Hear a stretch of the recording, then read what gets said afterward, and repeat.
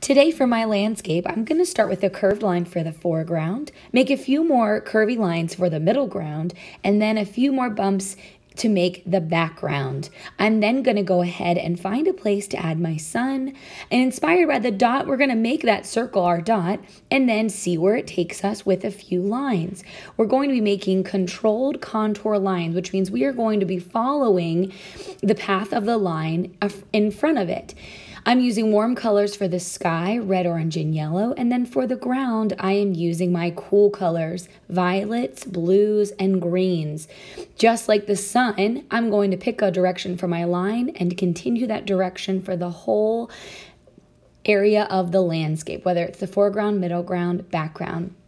I am going to go ahead and take a black marker and I'm going to add some fun details to my landscape like trees.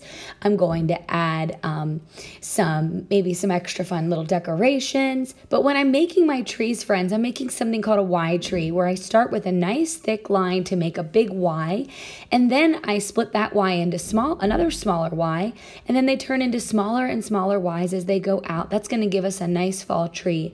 As I draw my trees going going into the background, they're going to get smaller because they're much further away.